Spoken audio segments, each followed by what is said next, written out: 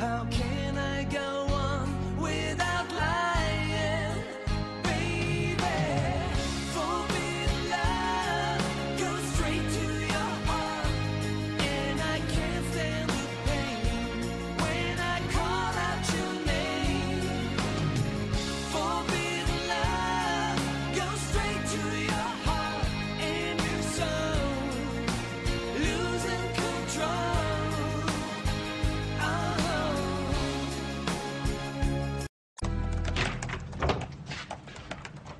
du da? Den Flug stornieren, was sonst? Sag mal, spinnst du? Das bleibt der Richtige. Nur, dass ich das jetzt richtig verstehe. Du bist beleidigt, weil ich dir einen Flug nach Ibiza schenke? Genau das, weil du mir einen Flug schenkst. Ich wollte mit dir zusammen dahin. Ja, wie stellst du das denn vor? Ich habe eine wichtige Klausur vor mir. Soll ich deswegen ein ganzes Semester dranhängen? Darum geht's doch gar nicht. Worum geht es denn dann? Darum, dass du mich.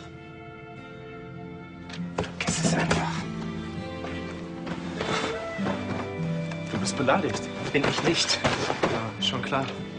Du bist echt komplizierter als alle Frauen, mit denen ich je zusammen war, Olli. Du bist echt unsensibler als so ein schottisches Hochlandrind.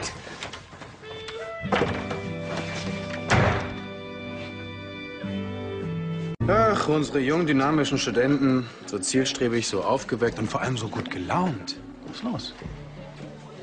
Ich habe die ganze Nacht kein Auge zugemacht. Probier's mal mit getrennten Schlafzimmern.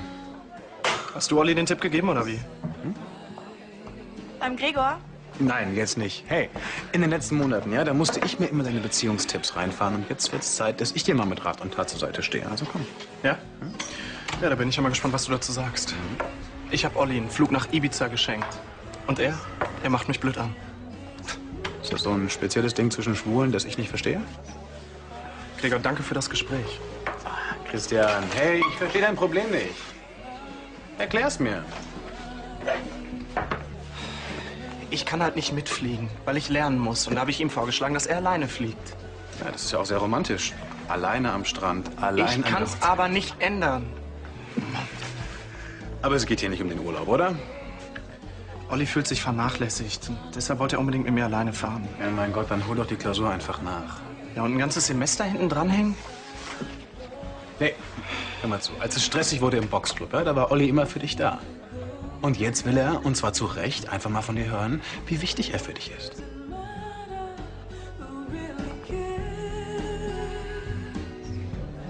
Manchmal glaube ich echt, ich bin ihm völlig egal.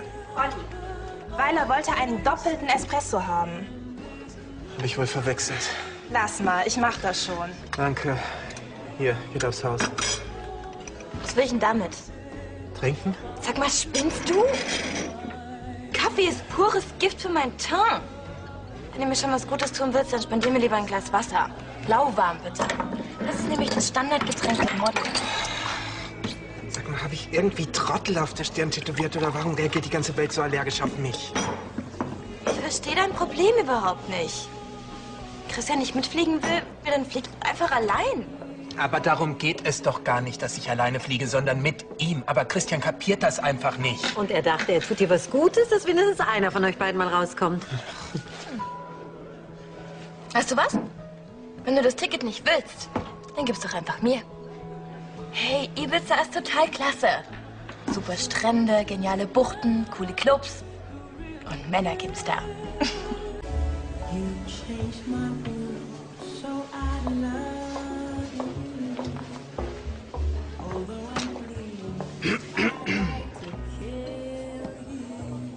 Kaffee? Nein. Eine Pulle Shampoos und zwei Gläser, bitte. Erwartest du jemand? Ja, einen ziemlich hübschen Kerl. Der unglaublich grimmig gucken kann.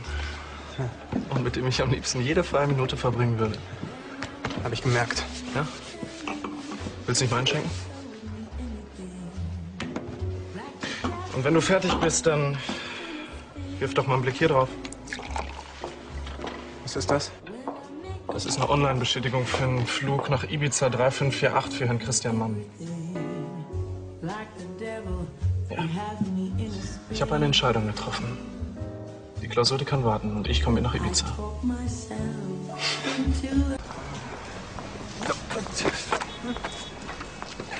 Cool, guck mal, hier ist sogar mein Lieblingsclub drin, das ist dafür noch voll der Geheimtipp. Und das hier, ist das nicht mal ein cooler Strand? Ja, voller schöner, braun gebrannter Menschen. Ja, und dabei sind wir dann noch nicht mal drauf.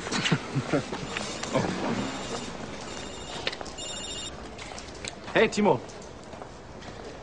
Nee, du, ich komme nicht mehr zur Studiengruppe. Ich hole die Klausur im nächsten Semester nach. Ich krieg das schon hin. Ich habe im Moment einfach nur andere Prioritäten. Ja, viel Glück. So, kann man da auch Mopeds mieten? Sag mal, wie hast du das eben eigentlich gemeint mit ich krieg das schon hin? Mach dir mal keine Sorgen. Tu ich aber. Ich krieg das schon hin, das ist meine Entscheidung. Ja, an der ich einen gewissen Anteil habe. Olli, was willst du eigentlich? Mit dir nach Ibiza fliegen. Aber ohne schlechtes Gewissen. Und ohne, dass der ganze Stress im nächsten Semester von vorne losgeht. Olli, langsam verstehe ich gar nichts mehr. Ich war ziemlich egoistisch. Und deswegen fliege ich alleine. Was? Weil ich dich liebe.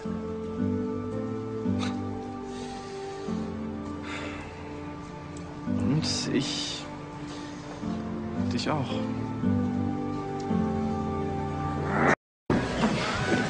Was ist denn hier los? Sag mal, war das nicht Anna-Maria Kaufmann? Was? Anna-Maria Kaufmann? Wo? Ja, da. Mit Musical Stars kann man meine Süßen schwer beeindrucken. Und woher kennst du sie? Ist doch klar, die hat doch schon zigmal die Nationalhymne beim Fußball-Länderspiel gesungen. Was du alles weißt? Ja. Aber dafür hat dein Süßer einen Top-Job für die Semesterferien. Echt? Mhm, eine Reha-Klinik in der Nähe sucht einen neuen Fitnesstrainer. Hey, cool, das ist doch genau das Gebiet, auf das du dich spezialisieren willst. Eben. Dann lass ich doch zur Feier des Tages gleich noch eine Flasche Shampoos springen. Nee, nee, nee, warte mal. Ich habe den Job ja noch nicht fest. Wie? Die machen erst irgendeinen Ausdauertest und den muss ich erst bestehen. Das ist doch wohl reine Formsache. Eben. Ich weiß nicht, ich fühle mich im Moment nicht besonders fit. Okay, dann gibt's eben statt Shampoos eine Runde frisch gepressten Orange-Ingwer-Saft. Oh.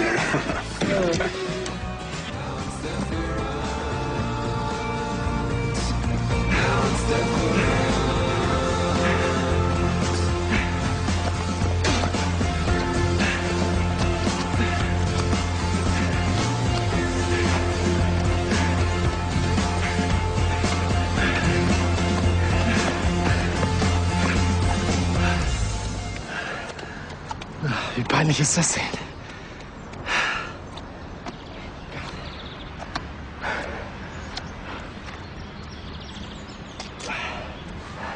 Jetzt keine Müdigkeit vorschützen.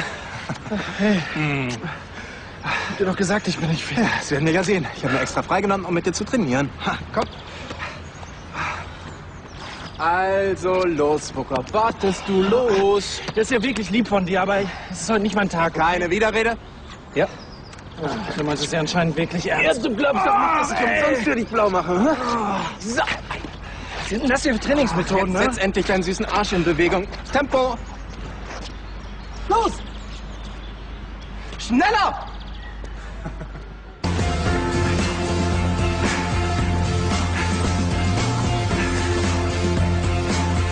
Jetzt, jetzt, komm schon, komm, komm, komm, komm, komm! Endspurt, los! Und jetzt, ja! Hey, na also, geht doch! In der Runde warst du fast an deiner alten Bestzeit dran? Mit dir als Sklaventreiber ist das ja auch kein Problem. Ja, ist mir eine Freude. Das merkt man. Jetzt will ich erstmal eine Belohnung. Hm, Nichts da, wir sind noch nicht fertig, da geht noch was. Hallo, sehen so etwa Sieger aus? Das kriegt echt keine Gnade. Ich will nur sicherstellen, dass du den Job in der Reha auch kriegst. Also, auf! Lauf!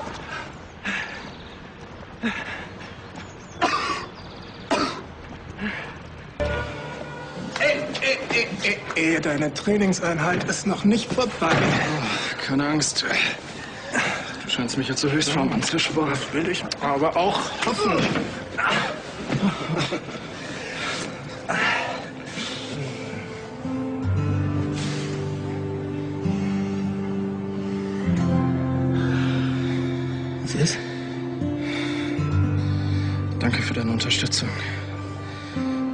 dich hätte ich wahrscheinlich schon viel früher aufgegeben. Das wäre wirklich schade gewesen.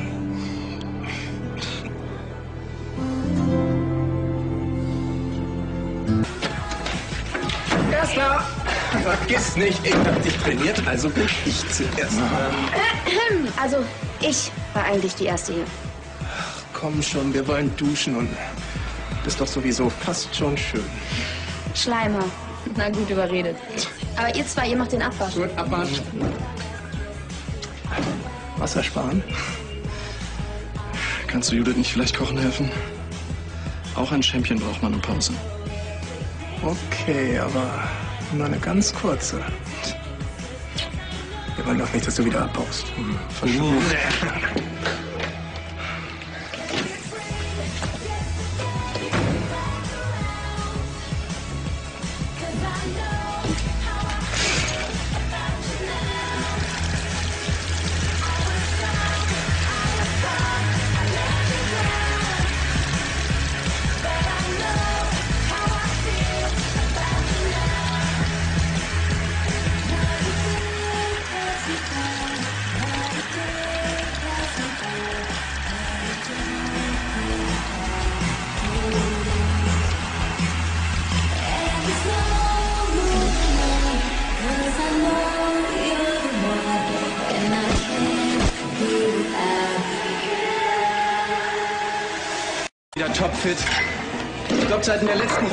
Die war fast rekordverdächtig. Nur ein bisschen Zeit. Das heißt, er, er schafft den Ausdauertest nächste Woche? Wenn er sich weiter so ins Zeug legt, 100 pro. Christian Mann, Fitnesscoach. Hört sich gut an, oder? Also, ich würde mich ja gern von ihm coachen lassen. Vor allem finde ich es gut, dass er endlich wieder ein Ziel hat. Das hat mir in letzter Zeit echt gefehlt. Stimmt, der Kneipenjob hat ihm nicht wirklich gut getan. Was? Ich habe gesagt, der Kneipenjob, der hat ihn nicht wirklich glücklich gemacht. Ja, kein Wunder, dass es in letzter Zeit zwischen uns ständig geknallt hat.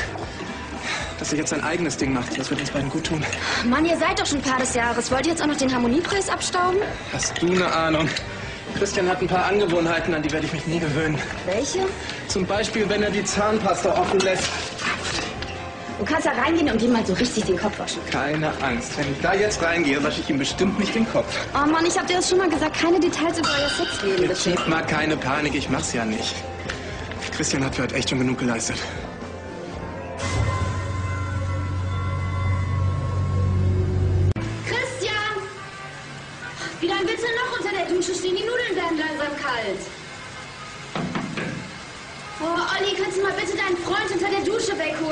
Duscht er etwa immer noch? Sag mal, willst du dir Schwimmhäute wachsen lassen? Christian! Christian! Was ist? Christian! Ohnmächtig! Hey, Ähm, okay, ähm, hey, mach die Augen auf! Komm. Scheiße. Christian? Okay, pass auf, ich rufe den Notarzt. Beeil dich! Ja. Christian, hey! Hey, komm schon! Was ist mit ihm? Ich kann noch nichts sagen. Scheiße. Das ist meine Schuld. Ich habe jemanden drin total gehetzt. Olli, du kannst nichts dafür. Du warst doch nicht dabei! Christian weiß selbst, wo seine Grenzen liegen. Christian war schlapp, der wollte aufhören. Ich habe ihn so lange gehetzt, bis er weitergelaufen ist. Aber als ihr, guck mich an, als ihr nach Hause gekommen seid, da war er okay. Vielleicht ist er einfach in der Badewanne ausgerutscht. Er hat keine äußeren Verletzungen oder Prellungen. Christian. Christian. Kannst mich hören? Hey, hey Christian. Nicht wieder ohnmächtig werden. Wir müssen ins Krankenhaus. Was war denn das gerade? Hey Leute, ich habe da unten einen Krankenwagen realisiert. Christian? Hey. Was ist denn passiert? Christian, wa- was ist passiert? Was denn? Ich weiß es nicht. Hey. Was machen die denn so lange mit ihm? Würde ich auch gerne mal wissen.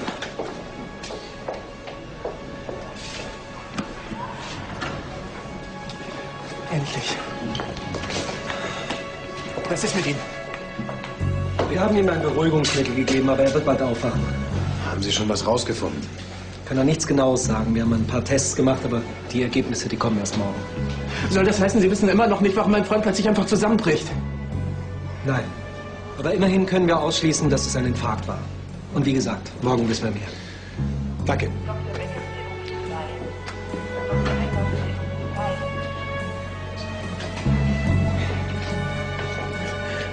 Alles wird gut, als bestimmt.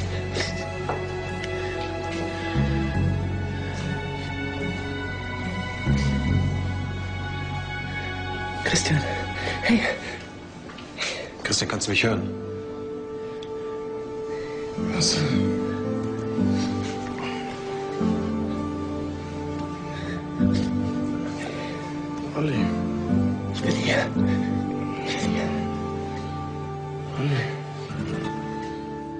Schon was von Christian gehört?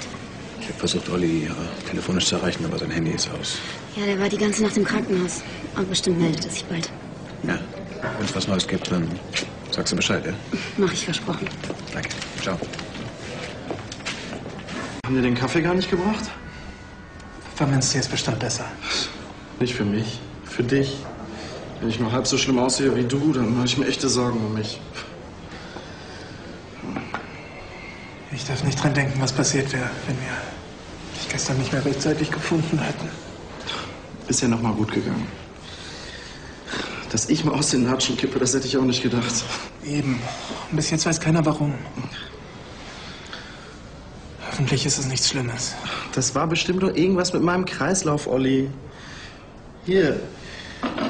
Ich habe bestimmt zu wenig getrunken. Morgen. Morgen. Und? Was Neues? Jetzt sagen Sie meinem Freund doch bitte, dass ich wieder topfit bin. Sonst behandelt er mich die ganze Zeit wie einen Invaliden. Nun, es ist ein bakterieller Infekt festgestellt worden. Was habe ich gesagt? Nichts Schlimmes. Leider nicht ganz. Die Infektion ist eine Weile her und hat zu einer Myokarditis geführt. Was ist das? Ist das gefährlich? Eine Myokarditis ist eine Herzmuskelentzündung.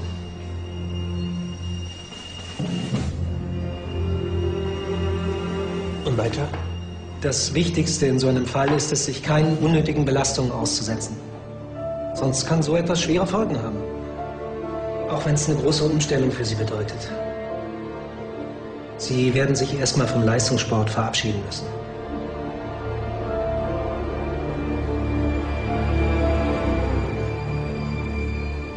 Und das war die Ursache, eine popelige Grippe. Nicht komplett ausgeheilt. Sowas kommt häufiger vor, als man denkt. Und jetzt? Hat sich der Infekt verlagert und das Herz angegriffen. Leider. Sie dürfen das auf keinen Fall auf die leichte Schulter nehmen. Hörst du? Ja, schon klar. Jetzt lass doch mal deine blöden Sachen liegen und hör zu, es geht um dein Herz.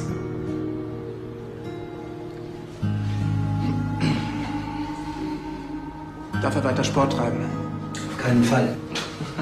Nicht bevor der Infekt vollständig ausgeheilt ist. Und dann? Muss man abwarten. Zum Glück scheint der Herzbeutel nicht betroffen. Grünes Licht kann ich aber erst nach den Untersuchungen geben. Dennoch, Herr Mann, Sie müssen Ihr Leben trotzdem umstellen. Na, und was sagt der Arzt? Danke. Myokarditis, Was für ein Ding? Herzmuskelentzündung. Oh, das klingt nicht so lustig. Ja, das ist es auch nicht.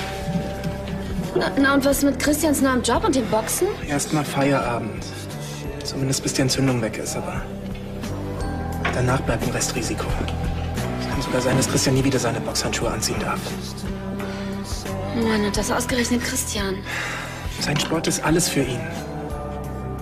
Jetzt heißt es plötzlich acht, neun aus, das war's. Such dir was Neues. Boxen ist nicht mehr.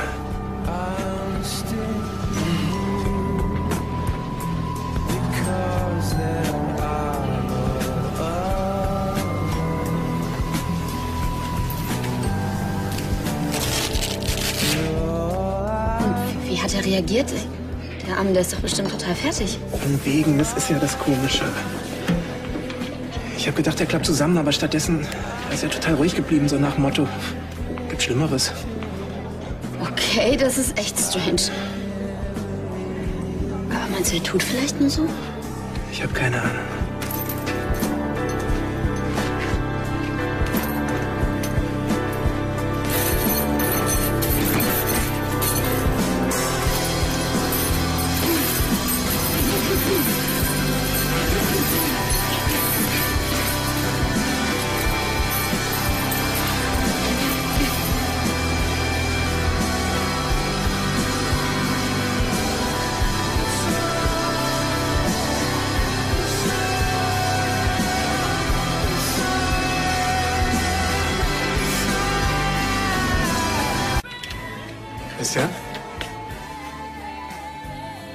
Steckst du? Wow, also. Wenn Herzpatienten immer so aussehen. Was dann? Hm. Für mich? Hm? Ganz viel Liebe gemixt.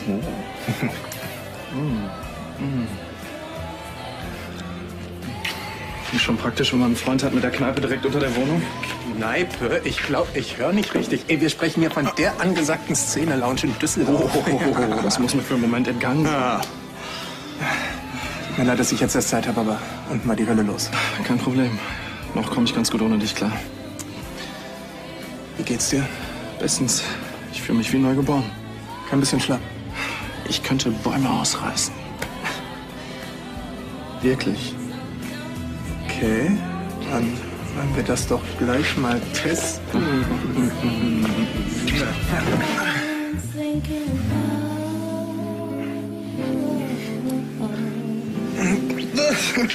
Was ist das denn? Das glaube ich jetzt nicht. Ich habe ein bisschen trainiert. Ein bisschen? Das ist klatschnass. Na Und es hat mir Spaß gemacht. Solange es mir Spaß macht, kann es auch nicht schlecht sein. Hallo, hast du eigentlich gehört, was der Arzt gesagt hat über plötzlichen Herztod?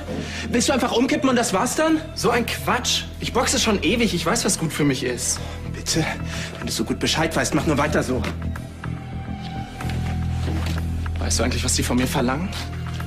Die wollen, dass ich alles aufgebe, was mir wichtig ist. Mein Studium, das Boxen, meine Zukunft. Christian, du bist ein freier Mensch. Keiner zwingt dich, dein Leben zu ändern. Ja, du machst es dir leicht. Du plapperst einfach nur nach, was die Ärzte sagen. Ja, weil die verdammt noch mal mehr Ahnung haben als ich. klar. Ich mach einfach das, was alle sagen. Und wie es mir dabei geht, das schert dich einen Dreck. Wenn du mich wirklich lieben würdest, dann würdest du zur Abwechslung mal an mich denken.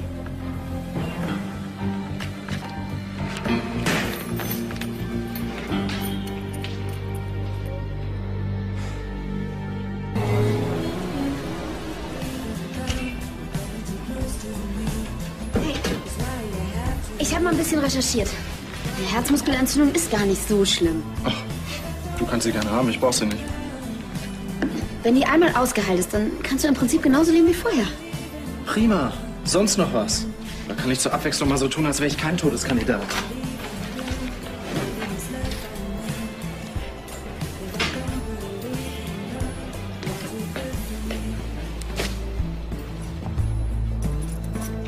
Was soll ich damit? Umdenken. Wie bitte? Christian, wach auf. Dein Traum vom Leistungssportler, der ist erstmal vorbei. Sieh zu, dass du dir eine neue Perspektive suchst. Wie sieht die denn aus? Ach, keine Ahnung. Es wird ja wohl noch andere Studienschwerpunkte geben. Schau dir das doch wenigstens mal an.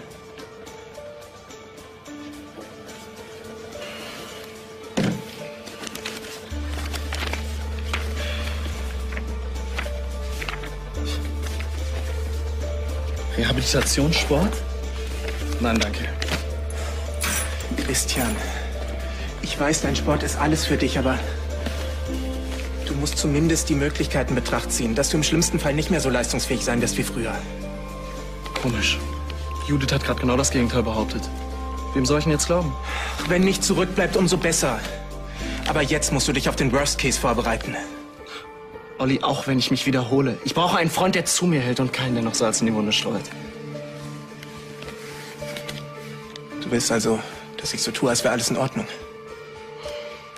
Tut mir leid, Christian, das kann ich nicht. Weißt du auch warum? Hm. Weil ich dich liebe.